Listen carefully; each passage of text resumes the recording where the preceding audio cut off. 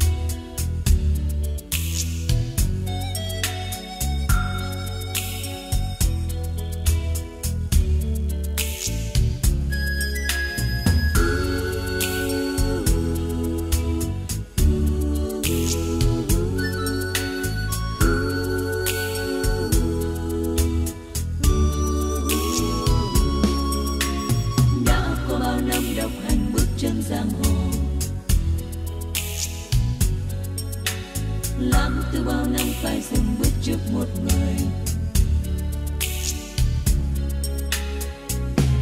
Em nay giờ đây